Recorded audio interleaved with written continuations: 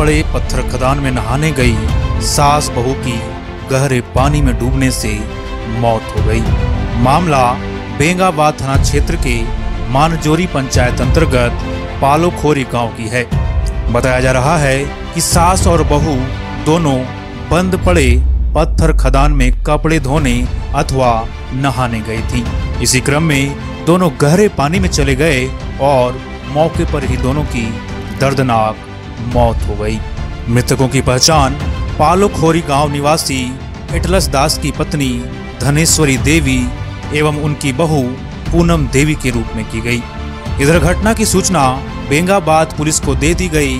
वहीं सूचना पाकर पुलिस घटना स्थल पर पहुँची और शव को कब्जे में लेकर पोस्टमार्टम हेतु सदर अस्पताल भेज दिया। वहीं घटना को लेकर पूरे क्षेत्र में मातम पसर गया। वह परिजनों का रो रो कर बुरा हाल है।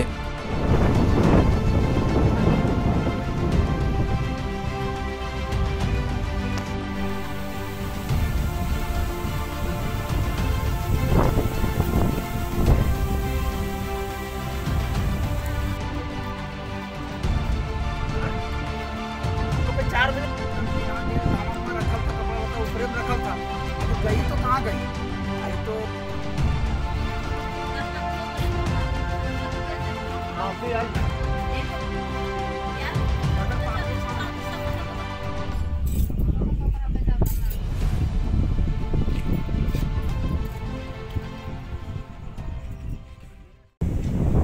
यहाँ पुरानी खदान मंडडी में पत्थर का खदान है जिसमें गहरा पानी है।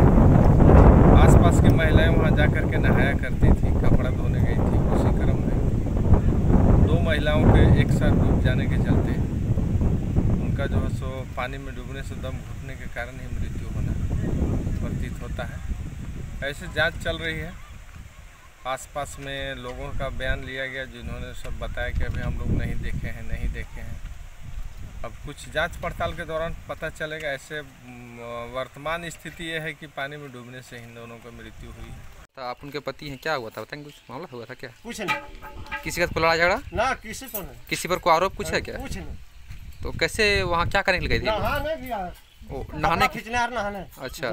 वो तो दोनों वहीं डूब गए खाना दे लिया खाने का सब बाल बच्चा खाना खिला ले आया तब बोला के बोल नहीं बोले जाते नहाए ले। अच्छा।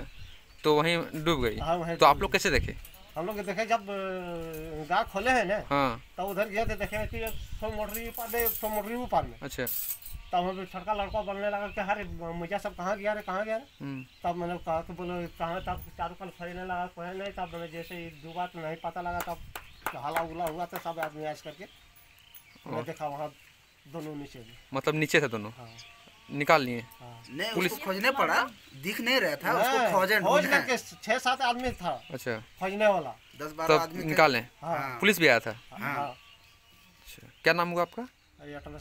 बेंगाबाद से मनीष मंडल की रिपोर्ट। इसके साथ अन्य खबरों से जुड़े रहने के लिए कृपया चैनल को सब्सक्राइब, लाइक एवं शेयर अवश्य करें। धन्यवाद।